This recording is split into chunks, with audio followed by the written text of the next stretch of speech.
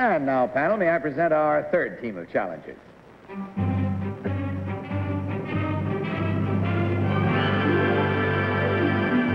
What is your name, please? My name is Willis Conover. My name is Willis Conover. My name is Willis Conover.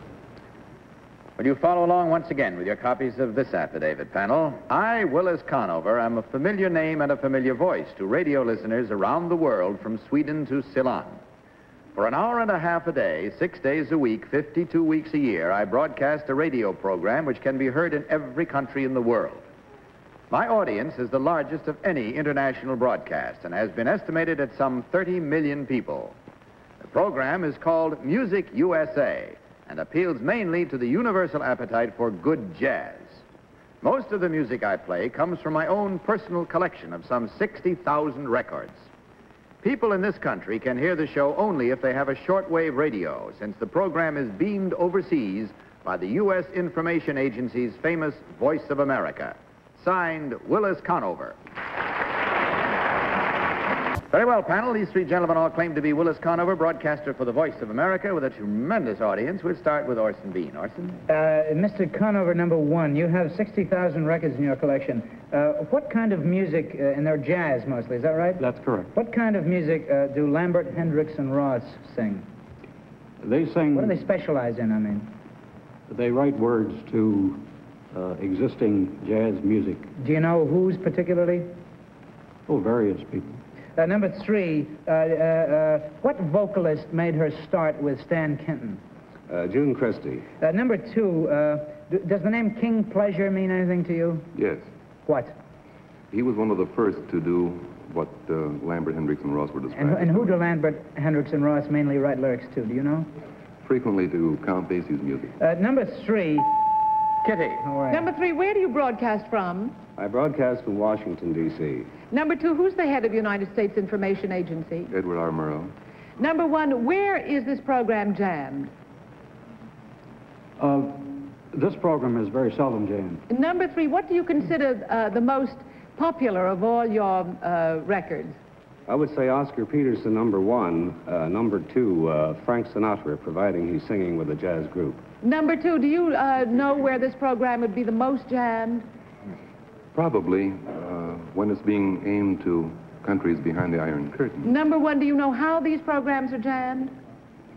By sending out uh, other broadcasts. Number, this. thank you. Number two, who provides the money for the United States Information Agency? Under what aegis is it? It's appropriated by Congress. Number three, who... Tom. Uh, thank you. Uh, number three, what is Dixieland music called in England? Do you know?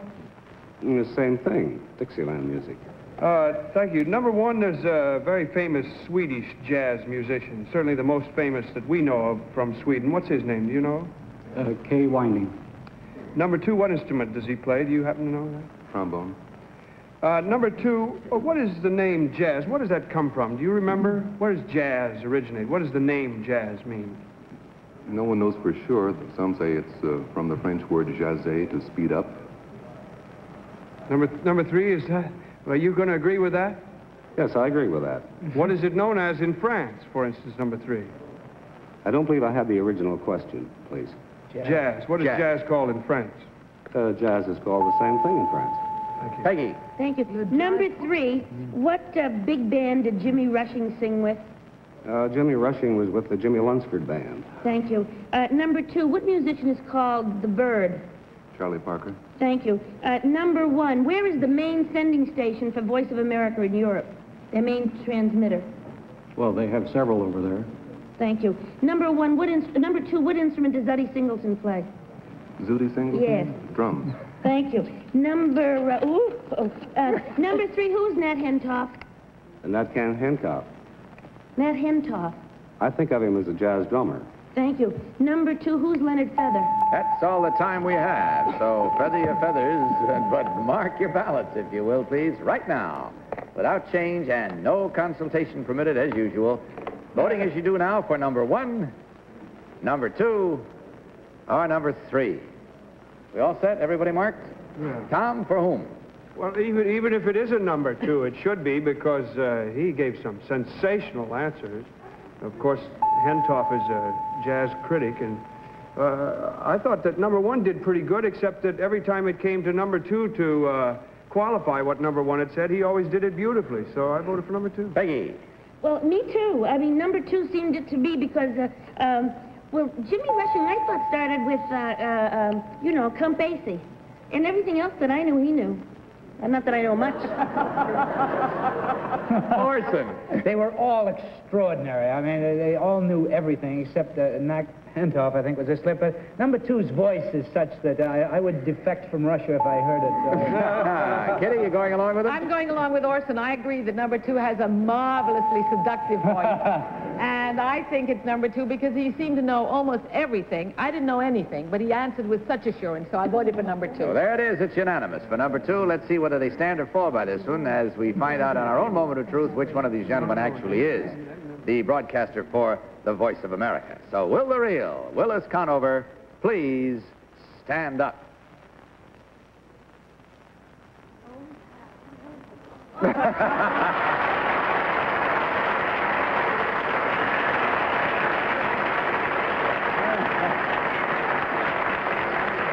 Thank you very much, sir. Now let's find out about your two sidekicks. Number one, what is your real name, sir, and what do you really do? My name is Robert Stone. I'm the art director for Scandinavian Airlines.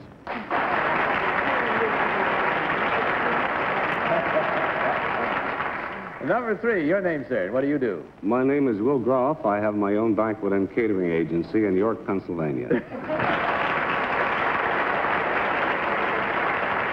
Well, in checking the score, gentlemen, we find, as I'm sure you know, that the panel was very smart this time. They really zeroed in on the right one 100%. In that case, of course, from Anacin comes your way $150. But we hope that the difference to that and what it might have been is more than made up for by the good time you had. We enjoyed your visit.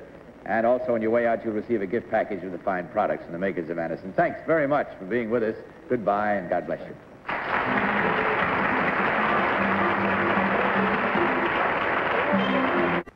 Uh, Peggy, I just got word from the, the Naval Department that they are making arrangements to have you flown out to the, one of the fields and taken up for one of those free falls. Ah, oh, I don't have to do it. I didn't sign anything. Orson, they're going to take you up too, Orson, with no parachute. if it's free, I'll take it. I don't- well, happy halyards to you all. And thank you for being your own wonderful selves, which is the best anybody could say about anybody. Good night. Good night, Bob. See you all again next week at the same time, and I'll see you, of course, tomorrow afternoon on our daytime show. And in the meantime, may I remind you once again, as I say goodnight for Anacin, to tell the truth.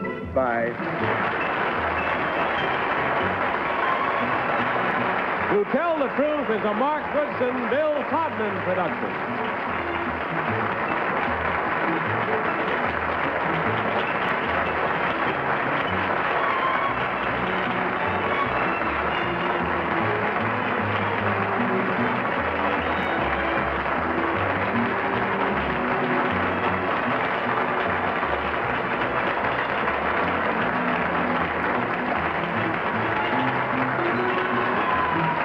To Tell the Truth has been brought to you tonight by Dristan Nasal Mist, the decongestant nasal spray for relief in seconds from sinus congestion and head cold distress.